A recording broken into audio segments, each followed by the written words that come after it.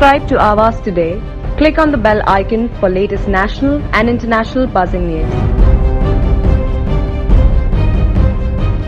नवी मुंबई के नेरुल में रहने वाले एक बुज़ुर्ग दंपति को एक पिज्जा खाने के लिए पचास हज़ार रूपए देने पड़े हैं। ऑनलाइन भुगतान करते समय इस दंपति को धोखा दिया गया है। पचास हज़ार रूपए तो चले गए, लेकिन अब तक पिज्जा नहीं आया। दरअसल, ऐसा हुआ कि विष्णु और रोमी श्रीवास्तव एक बुज़ुर्ग दंपति है, जो नेरुल सेक्टर छह में मेरेडियन सोसाइटी में रहते हैं। विष्णु इनके आँखों की सर्जरी के बाद उन्होंने बाहर से कुछ ऑर्डर करने के लिए पिज्जा को ऑनलाइन मंगाया। पिज्जा ऑर्डर करते ही उनके पास एक फ़ोन आया और उन्हें एक लिंक भेजी गई, जिसमें उन्हें पाँच रूपए भेजने को कहा गया। उस लिंक पर क्लिक करते ही उनके बैंक अकाउंट से लगातार पाँच बार दस दस हज़ार रूपए ऐसी टोटल पचास हज़ार रूपए कट हुए। धोखाधड़ी का पता चलते ही उन्होंने आगे संपर्क करने से परहेज किया। पीएमसी बैंक घोटाले में उनके जीवन की जमा पूंजी फंस जाने के बाद दूसरे बैंक खाते में उन्होंने रिटायरमेंट के एक लाख रुपए सेव करके रखे थे। लेकिन अब इनमें से आधे पैसे ऑनलाइन फ्रॉड में चले जाने के कारण आने वाले दिनों का गुजारा कैसे किया जाए, ये सवाल उन्हें सता रहा है। इस बुज़ुर्ग दंपति ने नेरुल पुलिस स्टेशन में मामला दर्ज किया है, लेकिन गुनाह दाखिल करके इन्वेस्टिगेशन करने की मांग इस दंपति ने की है। देखिए, मैंने फ़र्स्ट टाइम पिज़्ज़ा मंगाया था।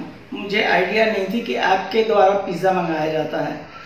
मैंने गूगल से सर्च करके सेक्टर सिक्स का नंबर निकाला, जो कि मेरे घर के पास ही है। और उन्होंने फ़ोन उठाया, ठीक है, पिज़्ज़ा आपके पास पहुँच जाएगा।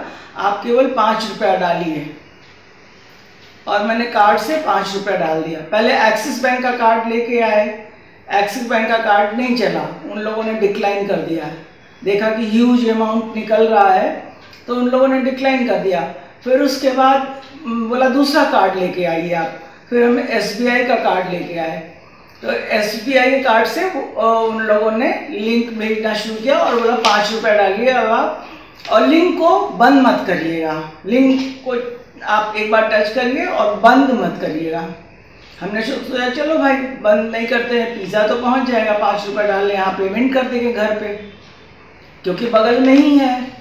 तो 500 मीटर अवे हाँ यहाँ से जो है 500 मीटर की दूरी पे है। हाँ तो पिज़्ज़ा आया नहीं। हम लोग चार बजे तक वेट करते रहे। और मैंने ऑर्डर कभी किया था एक बज के तेईस मिनट। हाँ तेईस। तेईस मिनट पे। जब पिज़्ज़ा नहीं आया तो हमने अपने मोबाइल पे देखा कि दस हज़ार रुपया किसी ने निकाला है। तो मेरा बेटा थोड़ी देर के बाद आया चार चार बजे के करीब।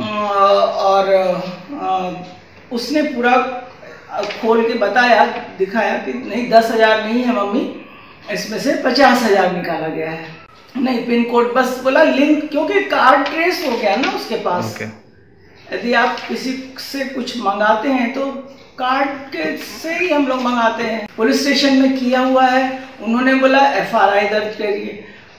और तो उन्होंने नहीं बोला हमने बोला तो बोले एफआरआई मत दर्ज करिए क्योंकि फिर कोर्ट में आपका मामला चला जाएगा।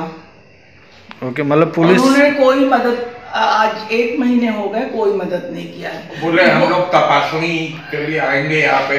और वो लोग बार बार हमको दौड़ा रहे हैं और बोले आप इतना बार बार दौड़िए मत अ, हम लोग कर रहे हैं हम लोग कर रहे हैं। पूरा फ़ाइल है उनके पास बैंक वालों का।